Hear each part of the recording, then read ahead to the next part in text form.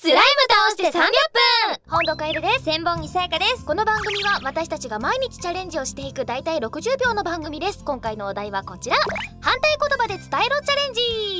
お題として出された単語の逆の逆さま言葉を発表しまして相手にお題の言葉が何かを当ててもらうチャレンジです、うん。えー例えば冷たいそばだったら温かいうどん的な感じになります。なるほどね。もぎちゃん当ててください。頑張る。うーん。山のさらち。川のあ海のはい。えーとさらち。さらち？野宿。野宿？山の野宿？海のキャンプ？海のえっ、ー、と無人島？あ海。いや山の家じゃないやつ。海の家だ 成功だねチャレンジ成成功だよ。なかった。正解でございます。成功明日も聞いてね。バイバイ